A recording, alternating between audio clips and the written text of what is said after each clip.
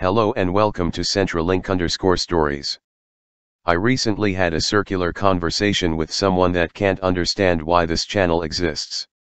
The reason why this channel exists is because I feel the Centrelink system is not only fundamentally broken but in recent years has been set up to fail by the government and I want to bring attention to this through calm and rational discourse.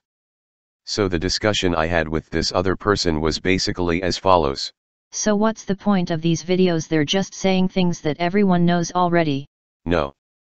They're saying things that we know because we're part of the system and have been for a long time. Yeah, so everyone knows. No. They're intended for people that have never had to deal with Centrelink and don't understand how it actually works. Oh, those people aren't going to listen to these, they're just going to get pissed off.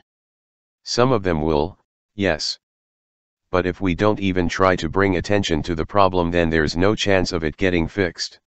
They're just going to ignore it and start complaining about dole bludgers again. That's kind of what I want them to do because then it's going to start a discussion about what's going on. They're not going to care. They're just going to get angry and start complaining about dole bludgers.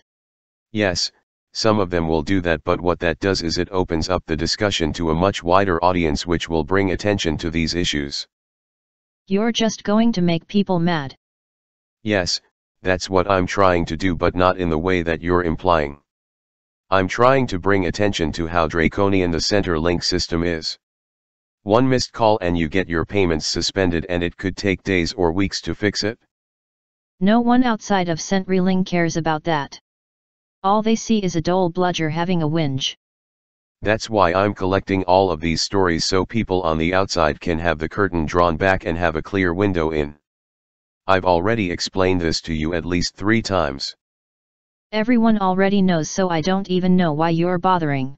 You're just going to get people complaining about dole bludgers again. I figured this discussion would make for a good channel trailer.